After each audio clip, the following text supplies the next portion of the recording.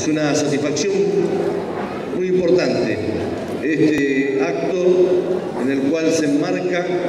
en una decisión que ha tomado la provincia de Río Negro y la policía de la provincia, que es la incorporación en forma permanente, año tras año, de nuevos integrantes a nuestra policía.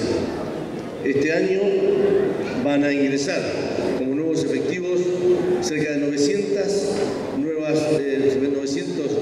y rionegrinos que han tomado la vocación de ser policías. Quiero dirigirme a ustedes,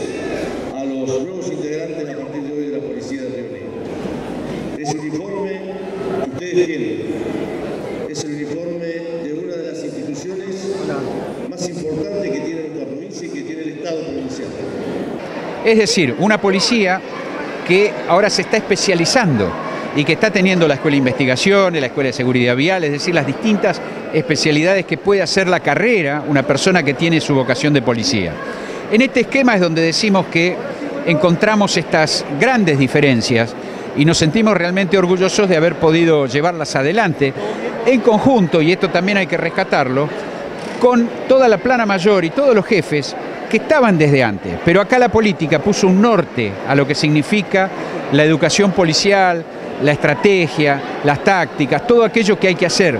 desde y para la policía. Y en conjunto, desde la política y desde la propia policía, sin que haya habido grandes hechos traumáticos, pasamos de una policía que no corregía los grandes casos famosos que, que nunca se pudieron subsanar,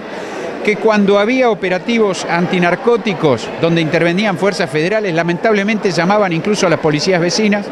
a una policía que en el día de hoy está interviniendo con éxito en todo este tipo de procedimientos, a una policía que tiene un equipo especializado como el COER, del cual nos podemos sentir orgullosos, que ninguno de sus hombres tiene iniciado ningún tipo de causa policial, ningún tipo de causa judicial por haberse excedido en lo que significa la represión, en lo que significa el actuar profesionalmente frente a las situaciones de riesgo en las que actúan. Entonces todo esto es motivo de orgullo. Y ver a estos jóvenes que van formando parte de esta nueva policía, esta policía que se ha engrosado en recursos humanos, en recursos científicos, en recursos técnicos, nos entusiasma en seguir adelante.